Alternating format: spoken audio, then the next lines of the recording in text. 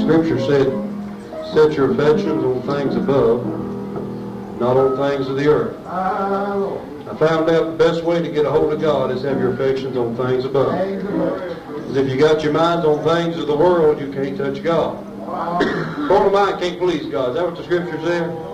It's an enemy, as a matter of fact. Set your affections on things above. Well, affections set on